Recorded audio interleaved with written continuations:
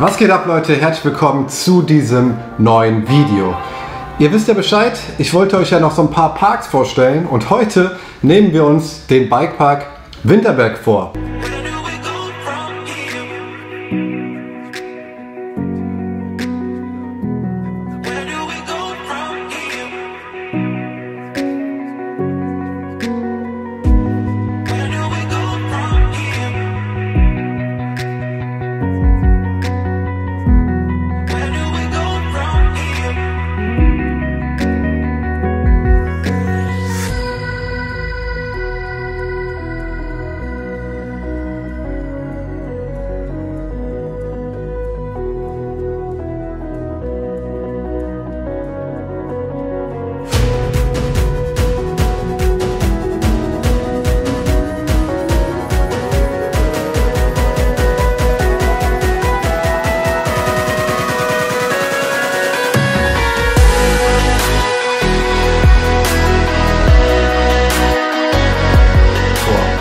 Kleiner Disclaimer, ich war dieses Jahr noch nicht da, aber die Lines werden ja so im Groben und Ganzen so geblieben sein, wie sie waren. Und besonders auch die blauen Lines. Weil soweit ich weiß, ist eigentlich nur die Downhill umgebaut worden und da waren eigentlich die größten Veränderungen. Also, let's go!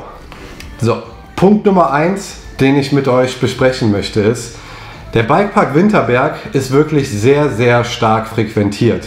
Das heißt, ich lege euch ans Herz, bleibt wirklich auf den Lines, die für euch gemacht worden sind. Das heißt, als Anfänger die blauen Lines. Ganz einfach. Weil auf den anderen Lines im in Winterberg, weil da wirklich so viel los ist, ballern die Leute da ganz schön runter. Und es ist ein bisschen weniger ähm, chillig als zum Beispiel in Willingen. Und deswegen ähm, bleib wirklich so lange auf den blauen Lines, wie du ähm, ja, dich noch nicht hundertprozentig komfortabel fühlst auf den anderen. Ähm, wenn du natürlich unter der Woche da bist und es ist mega wenig los, dann kann man das vielleicht mal so abschätzen. Ähm, ich habe den Fehler gemacht und war als Anfänger auf Lines, die eigentlich zu schwer für mich waren und habe da mit Sicherheit den einen oder anderen mal aufgehalten. Und ähm, das war eine Sache, die ist nicht, ja, nicht so cool und ähm, ist auch für, für euch oder für mich damals als kompletter Neuling einfach ein Gefühl von Stress und da sich gehetzt fühlen und Leute aufhalten, das gibt einem kein gutes Gefühl und deswegen ähm, würde ich das einfach aufschieben. So, kommen wir aber mal zu den Lines. Ihr habt ja direkt ganz oben einmal die Flow Country, Woodpecker, Kirill, Kirill, Kirill, Kirill, ja, wie man das auch immer ausspricht. Ich weiß, es ist dieser Sturm gewesen, aber ich weiß einfach immer noch nicht, wie man das richtig ausspricht. Und es kamen ja noch zwei ganz neue Lines dazu, und zwar der Märchenwald da oben, ne, Schneewittchen und Fairy Trail. Und Schneewittchen und Fairy Trail ist wirklich optimal für Anfänger. Also wenn ihr euch an die Flowlines in ähm, Willingen ähm, gewöhnt habt und das halt gerne mögt, wenn ihr da so unterwegs seid, ähm, kann ich euch nur empfehlen, da habt ihr diese zwei Lines auch zur Verfügung. Und natürlich den Übungsparcours. Ich würde dir empfehlen, als Anfänger auch nicht voll reinzustarten mit einem Tagesticket und ähm, gerade so eine Line wie die Flow Country, wenn man die ganz runterfährt, da ist schon, ja, das ist schon eine relativ lange Abfahrt als Anfänger und das ist auch kräftezehrend.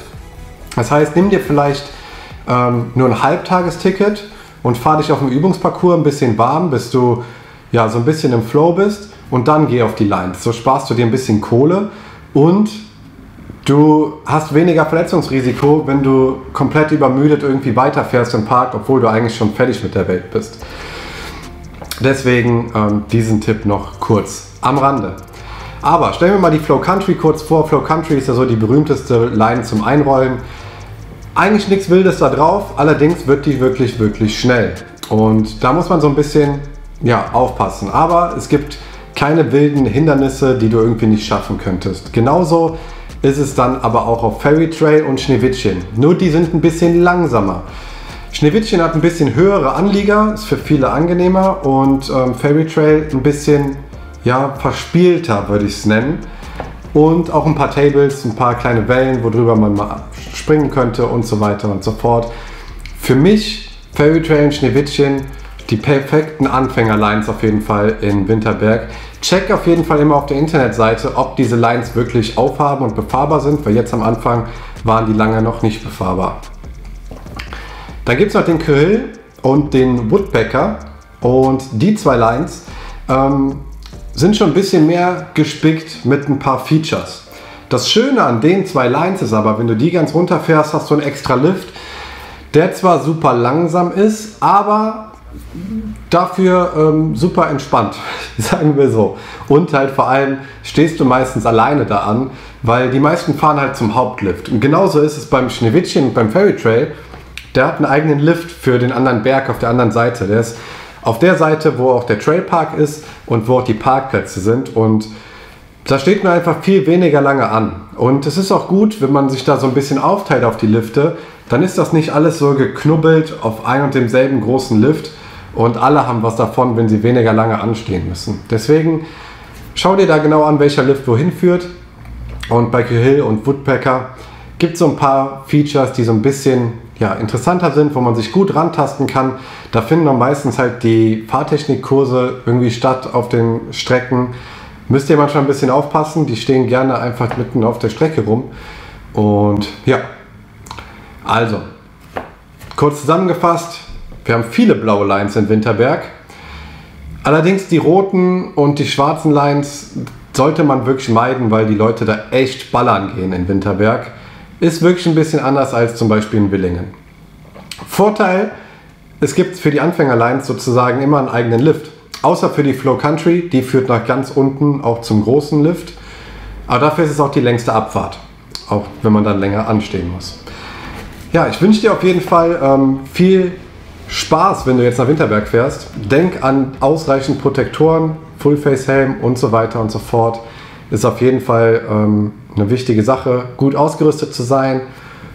Und wenn du da noch Infos brauchst, das findest du auch alles auf der Website vom Bikepark Winterberg. Und ich wünsche dir viel Spaß in dieser Saison. Lass gerne ein Abo da. Jede Woche gibt es hier zwei neue Videos auf dem Kanal. Nicht immer nur sowas, sondern ich fahre natürlich auch selber. Aber ähm, hin und wieder möchte ich einfach meine Erfahrungen mit euch teilen. Also, bis dahin, macht's gut. Ciao, ciao.